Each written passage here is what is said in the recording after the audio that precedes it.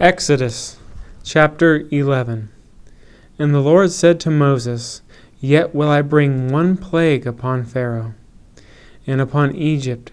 Afterwards he will let you go hence.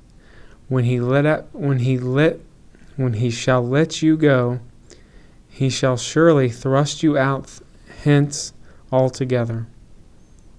Speak now in the ears of the people, and let every man borrow of his neighbor, and every woman of her neighbor, jewels of silver and jewels of gold. And the Lord gave the people favor in the sight of the Egyptians. Moreover, the man Moses was very great in the land of Egypt, in the sight of Pharaoh's servants, and in the sight of the people. And Moses said, Thus saith the Lord, About midnight will I go out into the midst of Egypt, and all the firstborn in the land of Egypt shall die. From the firstborn of Pharaoh that sits upon his throne, even to the firstborn of the maidservant that is behind the mill, and the firstborn of the beast. And there shall be a great cry throughout all the land of Egypt, such as there was none like it, nor shall be like it any more.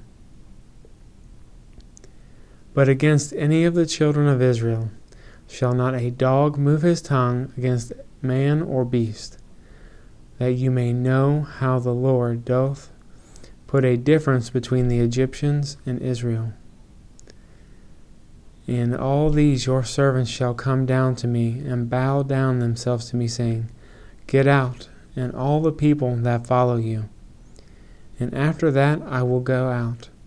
And he went out from Pharaoh in a great anger. And the Lord said to Moses, Pharaoh shall not hearken to you, that my wonders may be multiplied in the land of Egypt. And Moses and Aaron did all the wonders before the Lord. And the Lord hardened Pharaoh's heart, so that he would not let the children of Israel go out of his land.